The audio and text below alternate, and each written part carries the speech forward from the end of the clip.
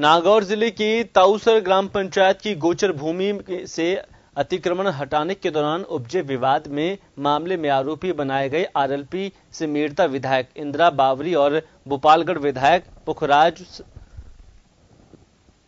गर्ग की मुश्किलें बढ़ती जा रही है। नागौर सीजेएम कोर्ट की ओर से दोनों विधायकों के खिलाफ जारी किए गए गिरफ्तारी वारंट के बाद दोनों विधायकों ने नागौर एडीजे कोर्ट संख्या एक से अग्रिम जमानत अर्जी पेश की थी, जिस पर सुनवाई के बाद कोर्ट ने दोनों की अर्जी को अस्वीकार कर दिया है।